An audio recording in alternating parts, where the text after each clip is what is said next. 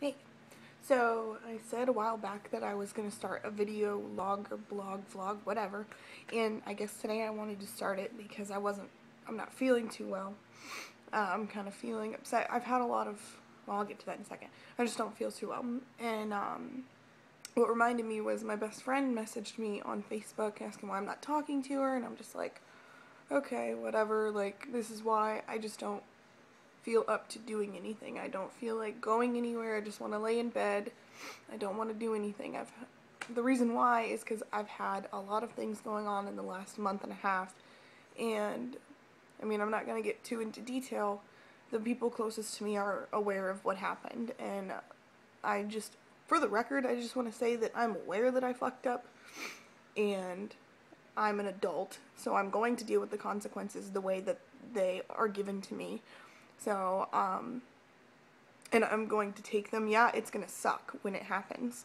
Um, which one thing, literally tomorrow morning, I have something that I have to deal with.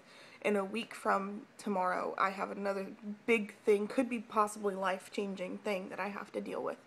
And it's been extremely stressful, and I just. The only way I know how to deal with it, like the whole first month, I was perfectly fine. Like I just said, I'm aware that I fucked up and I'm gonna deal with the consequences like I'm supposed to. Because that's how I was raised, that's how my mama told me, like, you fuck up, you deal with it. Okay? Cool.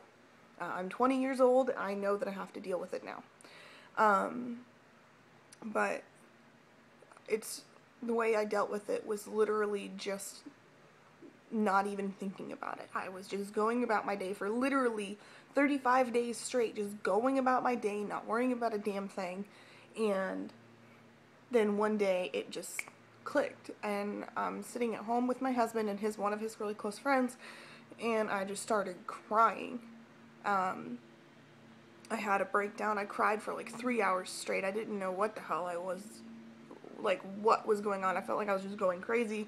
And I just started ranting like it's not all my fault it's whatever like but then of course I stopped crying and I realized you are an adult you're 20 years old you're allowed to have that little freak out moment for a minute and as long as you snap back into it and not every day you're sitting around depressed crying about it you need to deal with it the way that you're supposed to. You're an adult. Like I keep saying I am 20 years old now, I was allowed to have that freak out day because for 35 days straight, I didn't even worry about the situation that's been going on.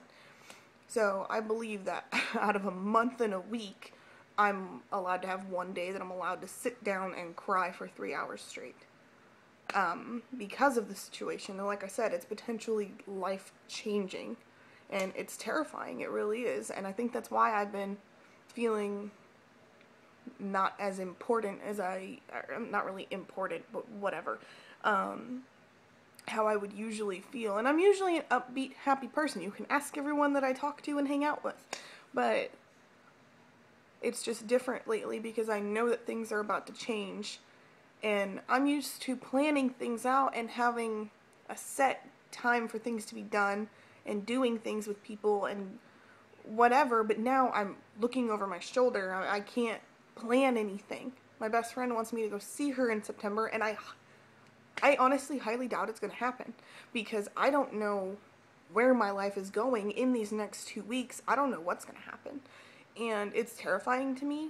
But I know that I'm going to get through it because I do have the people who care about me my husband, my parents, my best friend, my roommate. I, she cares about me, obviously. Um, but it's still hard. But I think the thing I, the reason I want to start doing these is because if shit does change, um, if anyone else is going through something, like maybe I could be a helpful hand or ear to listen to or give you my insight or even make you feel better by how shitty my problem is. Um, but I do want to say thank you to the people who do care about me and who are here for me on a daily basis. Yeah, I don't get to talk to my parents as much or see them as much as I'd like to because they live so far away, but I still want to say thank you to them because they raised me being who I am and I have the morals that I do and the brains that I do and the way that I think about things uh, because of them. And I, I love you guys, and I want to say thank you for that. And I have my husband who keeps my ass on track every day, which is a good thing, especially because I've fucked up. um, I love him, and I'm glad that he's here because I would probably be in a really bad situation if not. Um, like just recently, I almost beat a girl's ass, and she was pregnant because I was in a bad mood and she decided to be in my way. Um, my roommate also helped stop that. She's like, no, you can't do this. You have things that you need to be doing other than getting in trouble. Um, my best friend, I've known her almost 10 years now. She's not even my best friend, she's my sister. Um, sister from another mister, or whatever you want to call it. Um, and just the close people to me, like Red and my our Canadian, or whatever, her boyfriend. Um, just the people that I've met in the last year alone have had a really big impact on my life, and I want to say thank you to all of you guys for that. But um, kind of switched, which I'm good. Uh, switched things on the video, but I guess these are gonna happen maybe once a week. I guess because I'd rather.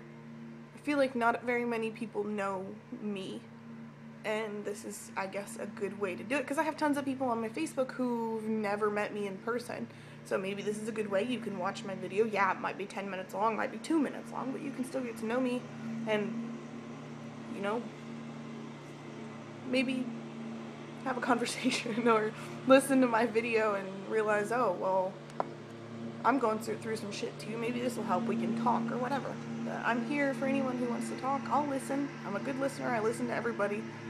And the thing is, like, we all fuck up. We're human beings. Nobody's perfect. So,